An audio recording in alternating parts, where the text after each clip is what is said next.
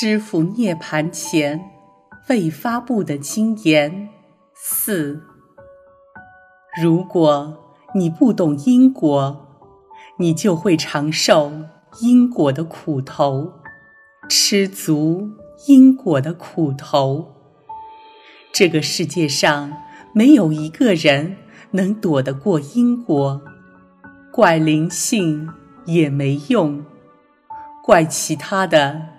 都是在躲避，躲避是没有效果的。只有积极的去除恶因，不造恶因，方得善果。短短的因果两个字，可以道出天地之法理。所以，人最可怜的是。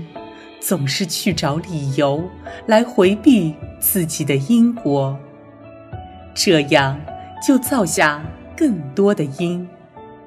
一旦果形成了，你想改变这个因都来不及了。就像一个产品已经造出来了，你想不让它成型也不行了。唯一的就是等待果报的来临。所以，去讲别人不好，讲理由，怪别人，都是不懂因果的人。因果报应，那是天地法理，谁都动不了。所以，怪别人，找理由，全部都是在种因，继续在种恶因。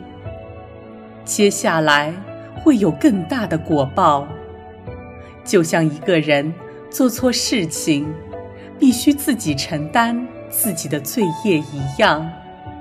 不是说你不想承担就不承担了，因为这个果已经在那里了，因为你的因已经造下去了。天地法理。不可逃，种因得果业难消。